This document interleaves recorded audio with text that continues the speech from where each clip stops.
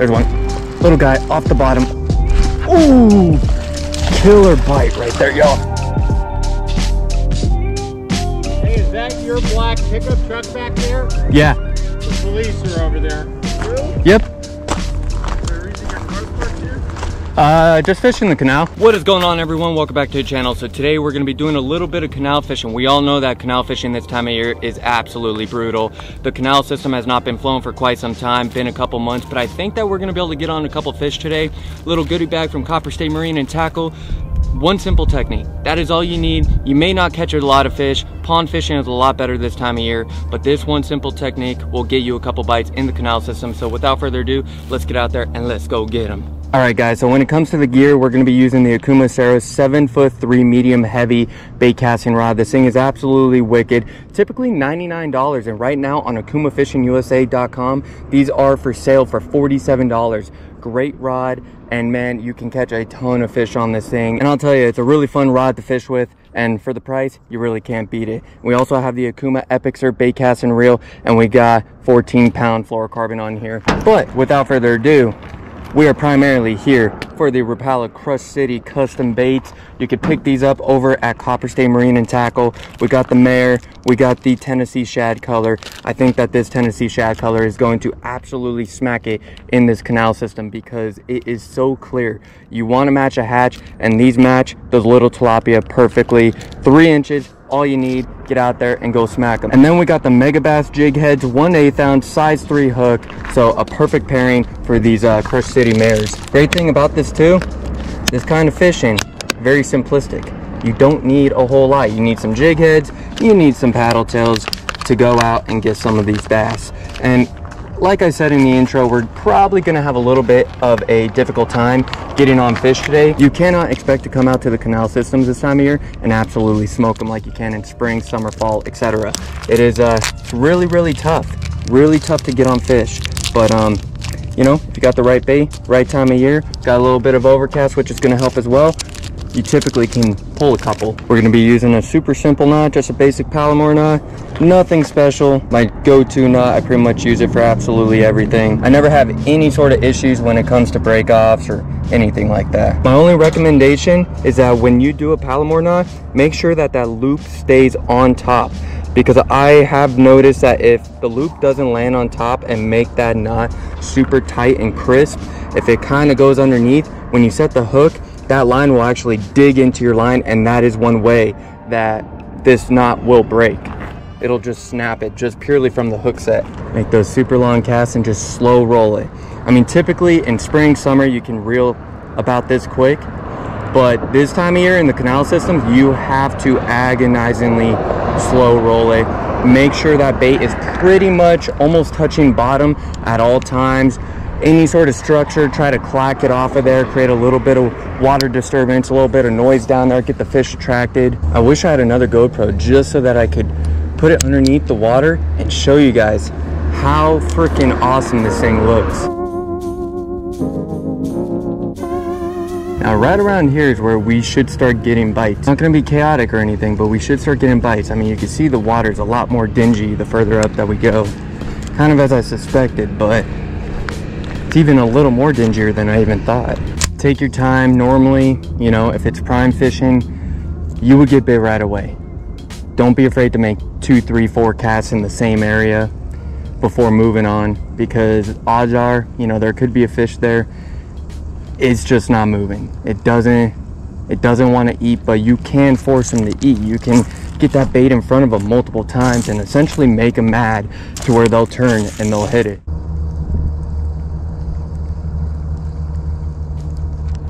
Ooh, killer bite right there, y'all. Get on up. That's a good fish too, y'all. That is a good fish. He smacked it. Look at that. Super cold bass. Look how he choked that freaking bait. That little mayor from Crush City. Copper State Marine and Tackle right there, y'all. That is a wicked fish. This fish isn't gonna live though most likely because it looks like he's got some line and hook coming out of his little butthole. So hopefully he can get that out without uh, too much damage occurring to his body. But I don't know. I don't think he's gonna do too well once That thing really has to start pushing out. Man, he smacked that, y'all. Just slow rolling it, agonizingly slow. And then he just crushed that thing like it was freaking fall time. When this thing's dropping, there's no action to it. It just kind of falls in like circles, kind of like the uh, 6th Sense Panorama in a sense. There's no movement, but it looks so lifelike. It truly looks like an injured or dying baitfish as it's sinking. And once you get a retrieve in, it sits up perfectly and has a perfect tight wobble to it, which is what you want for this time of year. You don't want a crazy action. You don't want a lot of thumping or anything. You want to keep it very simple, very light thump and a slight mellow wobble. And I mean, this bait's got it.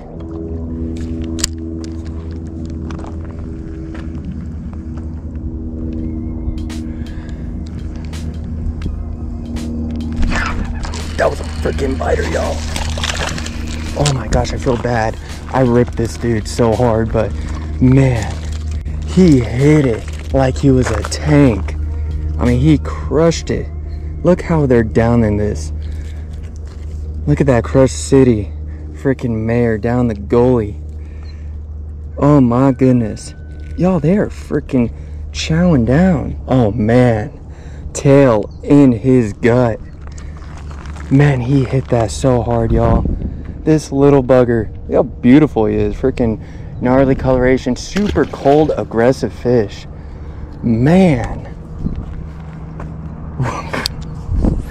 y'all, that was insane. I feel real bad. I mean, I swung hard on that little dude. Man, that was freaking awesome, y'all. That was so sick.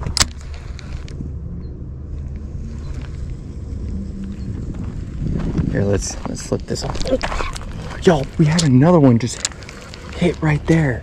Oh my gosh. Let's see, let's see. Oh my gosh, right as it was rolling up, freaking hit it. Let's put it in this big opening. Maybe there's a little chunk of roo hanging out. Oh my goodness. I swung the wrong way. If I swung up, I would have pinned that guy. But because I swung to the right, I pulled it right away from him. Dang it. Sucker's starting to clear up again, y'all. So we'll see if the fish will start orienting up here because it's deeper and clear or if they're staying over in that area where it's a little bit murkier and uh, you know still pretty good depth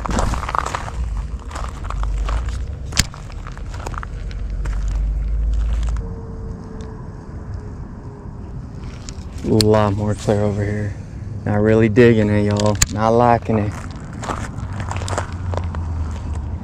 There's one. Little guy off the bottom. Slow rolling that. Just ridiculously slow. Y'all just barely freaking nipping them up top. And check that out. Nothing big. That first one was a really good quality fish but uh these guys are the ones nipping right now. Man i felt that little tick on the bottom.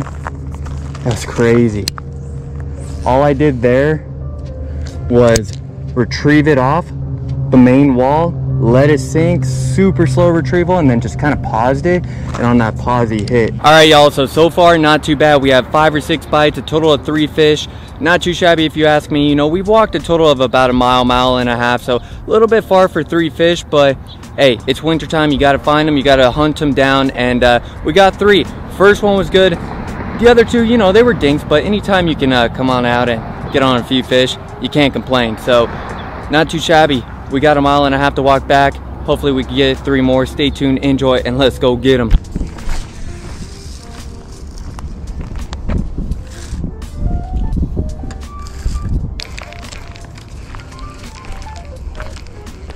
Oh, oh, that's a fish. That's a little guy right there. Y'all, that thing was just sitting on the bottom. And then finally, once I got the backlash out, retrieved, he was on. Perfect hooks at roof of the mouth. Nothing big today, but hey, feisty, little aggressive fish, not too shabby. Hey, is that your black pickup truck back there? Yeah. The police are over there. Oh, okay. Thank you. Yep. Well, that's funny, y'all. I wonder who called the cops because I parked up on the on the rock area. Are you? Yep. Is there a reason your car's parked here? Uh, just fishing the canal. Okay. Why is it parked here? I've always parked here. Ever since I was 16, I've never been bothered. This is trespassing. I got no issue with it. Oh, no, no, no, no, I know. That's, that's why I'm not, I'm not gonna give you like Yeah. a ticket or anything. Yeah, I'm no, just gonna okay. Let you know to probably Find never- somewhere else. Never park here. All right. Because honestly, I was gonna give you a call, and if you wouldn't have called, it probably would have gotten towed. Yeah, fair And I enough. don't. I don't want that to happen next time. Yeah. Anytime. You know what I mean? Yeah, no, definitely, fair enough. All right. Cool. Yeah, sorry about that. No, you're good. Yeah, good. I'll be out of here in like five minutes if that's cool. No, you're good. Cool. Thank you, man. Have a good one. Happy early birthday. Oh, thank you. Appreciate it. I'm really surprised that there's nothing up in here because there's typically always a little dink up in here. Even though this section is fished all the time, it's typically still good enough to get you a fish. We're gonna skedaddle on now because I told him just five more minutes and he was like, all right, cool. So time to head on out. Thanks guys, have a good one. All right, y'all, so that last little situation was a little bit weird.